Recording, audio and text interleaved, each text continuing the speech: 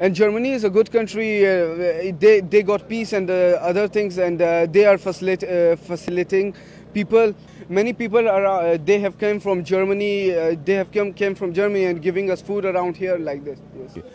Uh, so we can find work, we can, find, we can help each other, we can understand uh, each other, as, and then we can learn their language to be in their society.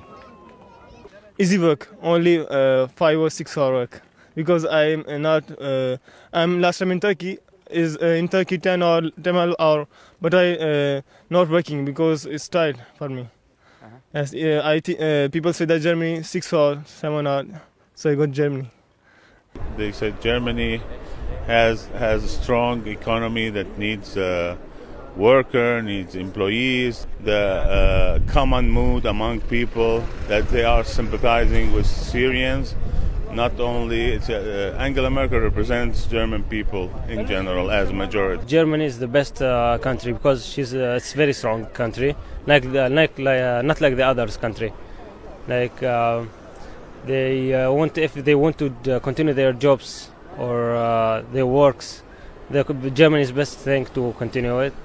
Or for students also, it's a very strong st- uh, study university.